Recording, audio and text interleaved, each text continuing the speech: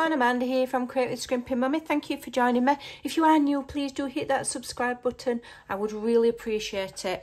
Um, so today I'm doing another video on my big book of ephemera ideas. It's kind of like an ongoing thing. I carry on doing the videos until I feel like I've done enough in the book. And then, I don't know, what I'm going to do with the book. Whether I'm going to keep it, whether I'm going to sell it, I don't know. there is a playlist linked in the description box below that shows you all of the things I've done. And we've done quite a lot of fabulous ideas, um, such as this. Really, really cool. So I just got some bits and bobs out. And I just thought I'd have a play and see what we can come up with really easy and really quickly um, with just a few tags and a few bits and bobs. Anything that I've used, I'll have a look at the video when I've finished and I'll link them in the description box below because I do tend to use my own digitals but you can use whatever you want. Okay have a look what you've got. Right so I've got a bit of an idea but not fuller. So let's start with this girl here. So I'm just grabbing out one of the large tags um, from my 100 tags bundle. Right so I won't mention where everything comes from because it gets boring. Then I've got these little envelopes that somebody sent me I'm going to put a little mini Polaroid in there. Okay. And then, um, I don't really know. So let's just see what we can do. I think I'm going to glue that there. So the idea of these is I'm making large tag clusters, cluster pockets, large tag cluster, what should we call them? I don't know, but they're going to be basically large clusters made on a tag and then we will turn them into pocket tuck spots. Okay, I don't know what I'm going to call them yet. So I'm gluing that envelope there and I've got the open side facing out so that I can access it. And I'm just going to stick that on my tag. Okay, so immediately I've got my favourite word, which is interest. Okay, let me just make sure that that's going to fit on a page. Let me find a page. Uh, I'd rather find one that's a bit more blank. There we go, we'll use this page. Okay, so that's going to fit on my page and I can access that little do for there. Okay, right, so let's leave that page open because that's where we'll put it afterwards. And let's go back to here. So then I just get some of my bits and pieces. I've got these film strips which are really interesting, I quite like. Okay, and again, I'm just going to keep checking that it's going to fit within the parameter of my book if I stick that on there. So let me just check. Okay, yes it is. Now I really like that. I think I'm just going to, yeah, I'm having it.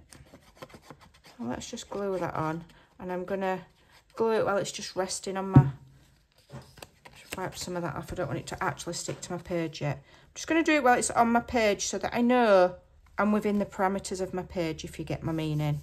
Okay, so I know now that anything that's within the parameter of that film strip will fit in my book.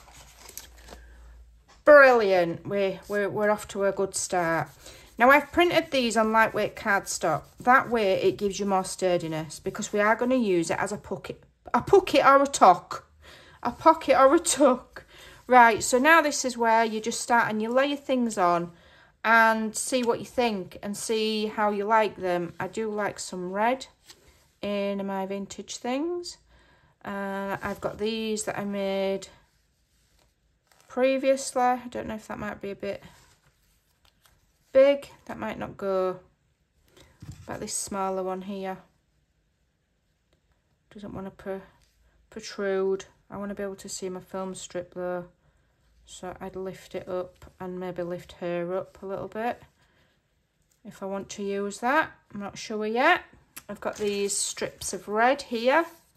I might like, I've liked to strip a strip of red there. Let's have a look. Quite like a strip of red behind that girl. So I just layer things and I'm kind of like, I'm trialing them to see if I like them. I do actually like that. Just trialing them to see if I like them. And then I go from there. I'm going to save that for my next one, I think. And I think I'd quite like some more red over here. just peeking there. You can still see all of those layers and I think that looks great. So, can just remember where everything goes, I just need to ink this. Okay. Super simple. We don't do difficult crafting on this channel. We just get our stuff out and whatever happens, happens. kind of thing. Right, so let me just remind myself of my placement. Okay, I'm having that there because I want to see the film strip. Quite like her there. And quite, shall I have that there? Or shall I have it there? Like that. Mm, don't know if that looks balanced. Let's have a think. Let me just have a think. Filed there or here. Sometimes you can end up overthinking things, so it's best to just stick them on. I'm just going to go with that. Okay. Just feel like I need a little something there. Let see if I can grab something quickly from the side of me. See if I've got some music paper or something. Probably haven't got any close to hand now. Um, now that I've decided I want it. What's this? Bit of randomness. Might have some of this random leftover.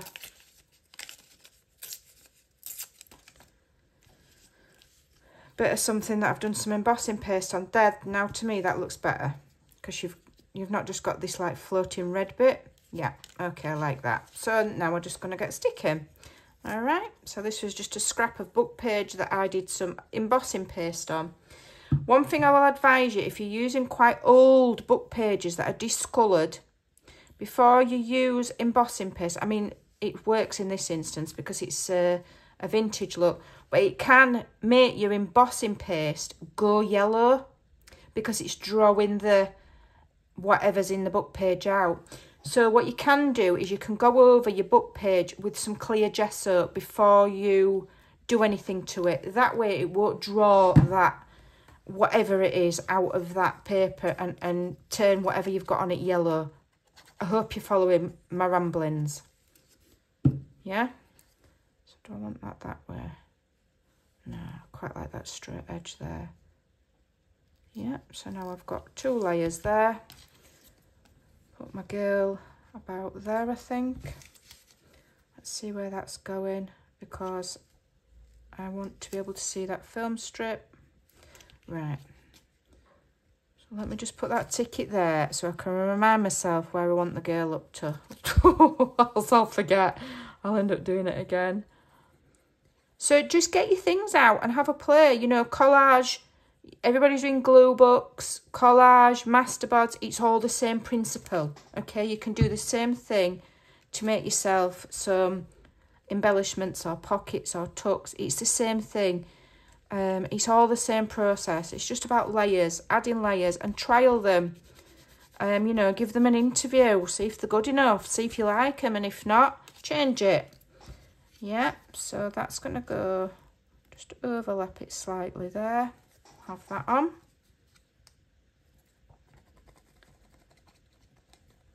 And it, so like these clusters, I pre-made, I did a batch make. So it's just music paper, little, little bit of, I don't know what this is, tissue paper. I don't even know what that is. Oh, it's the paper with holes punched in it. And then a bit of fabric, a bit of pattern paper, butterfly sewed through it. And I made about 20 all at once. So then they're interesting to, to lay on things like this. And then when you come to do them you've got them to hand. And you can just get them out and add them on willy-nilly. Yeah? Add them on willy-nilly. Okay. And now I can just tuck that bit of red under there just to give a bit more peak of a red you can still see the film strip you can still see everything oh I've not put that there. Stick that under her she down. No, I've got room. And I can stick her, stick that there. Just to tie in that red. Let me just bring it down. So it's going underneath there. That's a nice layer. Okay. So that's that one done. I've stuck it to my page. That's not what we wanted. I didn't want to stick it to there. Maybe have a silicone mat or something underneath instead of I use this uh, scratch paper. It's like in a big roll. Um, like, you know, you get for children to draw on. Right, let me find that page I wanted. I've lost it now, haven't I? Of course I have. So, ah, here we go. So that page is just a little bit stark, isn't it? So I'm just going to add a little bit of ink and these are my favourite kind. I love doing my, you know, my my other journals with my pretty digitals. But this kind of like junky where you're just sticking things willy-nilly is awesome fun. And if you make one of these kind of journals, I've shown you how to even make the journal. You know, you can pick it up and put it down. I don't work on this every day. I work on it when I've got time.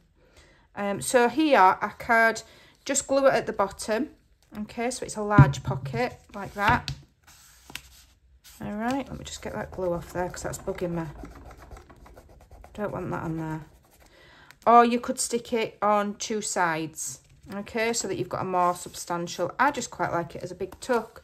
And I'd probably put a vintage lettering or an old invoice or, you know, extra journaling. Because you've taken up the journaling or writing space from there by adding this, then add some journaling or writing space back. So I can add that there now. Okay. And I can get in that little pocket and I can get that little that little card. In fact, I'll just have it peeking like that. Get that little card out. Okay, let's have a look. What else have I got that make them look a little bit interesting? What's these? My little paper clips, which I got from Temu, and they're as stiff as I don't know what, so they're hard to a little paper clip on. And there you go, you can access that little card there. You could put a little tab on it if you wanted. I might even put another little paper clip here. Because they were only cheap and not as expensive as the Tim Holtz ones, I can use them willy-nilly. I could put another one there. I could even put a little ticket on there if I wanted, but I don't want to. So that's that one done. So let's do another one. They don't take long to make. So let's um, do some more. So I've got this lilac-y one. I've got this gentleman here. I've got another film strip. I've got this this card here. Uh, what else have I got? I've even got these smaller tags which I could layer underneath like that if I wanted. I quite like that. Quite like that. And then I've got another one of these. Got to, might as well use this, seeing as it's here. A little bit of this embossed paper. All right, we'll stick that over here. I'm going to use this cluster here. Get it used up. Move that there. That there. So look what we've got here. Quite like the blue.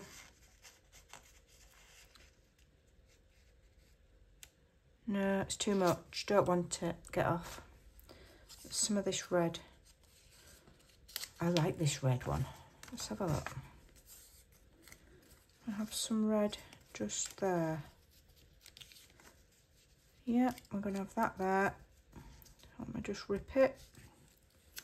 I'm going to have that there. A bit of red. Just using up leftovers. And I quite like a bit of red behind that gentleman as well. and a bit of red just peeking out of there just to break that up yeah Might even lift that film strip up so that it's peeking out the top. Like that. Right okay so let's get gluing. All right if I can remember where everything goes. So let's just take these layers off. I'll glue this one on first. Okay, that about there. Have a bit of ink on this. I've already inked my other stuff.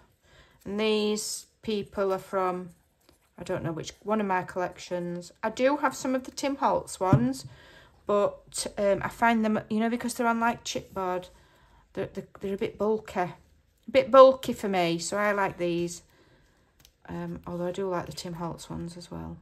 Okay, so now I want to glue my tag to the back of there.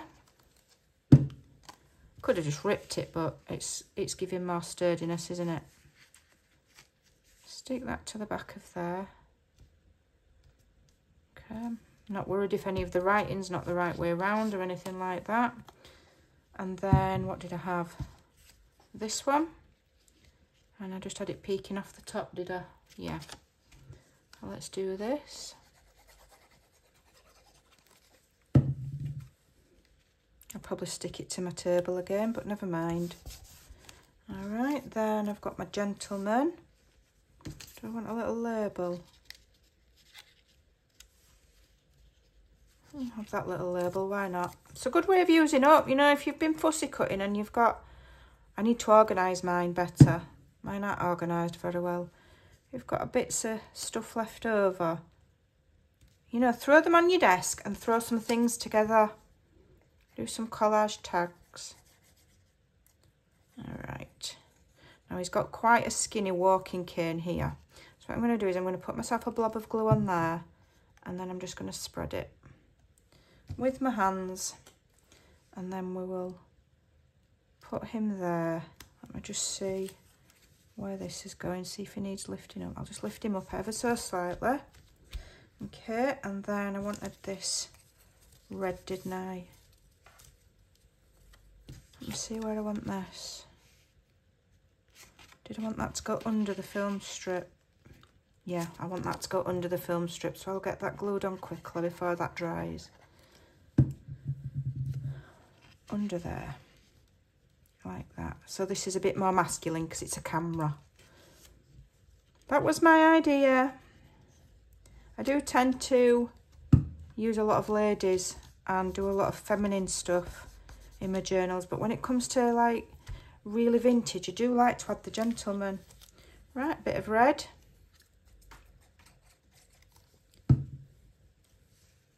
Don't get any easier than this, folks. Don't get any easier than this. It really doesn't. This is easy crafting. Okay. But I do advise make some long clusters like this. What does it measure? Let me tell you what it measures. It measures about four and a half inches because if it's too long you can rip some off, you can cut it to size and they're just really useful. You know, if you if you can't think, if you're having one of those days, I have them, I can't think what to make, I don't know what I'm going to make today, can't think of anything, sit and make some. Something's not straight, is it my tag? Is it my tag that's not straight or is it that? There we go, that's better. All right. Okay, get rid of that glue. Get rid of the glue. The good thing with the Collall is if you, if you catch it while it's wet and you rub it like that, then it turns into like, you know, like when you've rubbed out using a rubber or an eraser and you can just brush it away. Okay. And let's find another page for here. Okay, so we've got that fantastic one there. Can add loads of goodies in there. Okay, and this one I might hang a charm off. So let's go to the back of the book so that we're not putting everything at the front. Uh, where should we put him? We'll put him here. That's a nice page.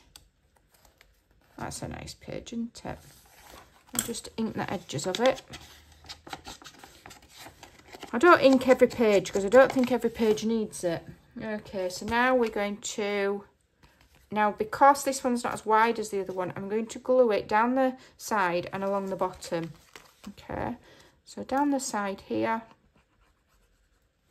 and then I'll do it along the bottom. There.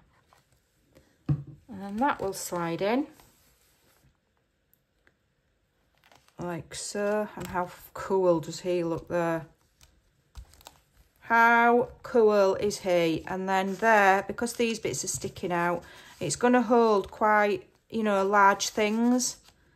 So large pieces of ephemera, you know, writing pages, whatever. Whatever you want. Put what you want on and I might put a little dangle on there. We'll see. We'll see. So there you go. That's that one. There. Okay. Lovely, lovely, lovely. It looks like a collage, but it's actually a massive, massive tuck or pocket. Same here. Lovely cluster of interesting things. Massive pocket. Massive, okay? And how fun is that? And then you've also got this that you can pull out. All right? So let me just slide that back in. All right, so there we go. That's another two pages in our big book of ephemera ideas. Um, hope you enjoyed that. Quick and easy. Check out the playlist in the description box below for all the other ideas. We're getting rather chunky now. Uh, we've done some lovely, lovely, lovely ideas, including how to make the cover, which I've made out of Kraftex. So it's lovely and sturdy and it's flexible. So if my book becomes chunky, then this spine will just go rounded. I've got my elastic binding so that if I want to add anything or remove anything, I can. Don't get any better. So there you go. Hope you enjoyed that. Thanks for watching. Take care and I'll see you in the next video. Bye for now.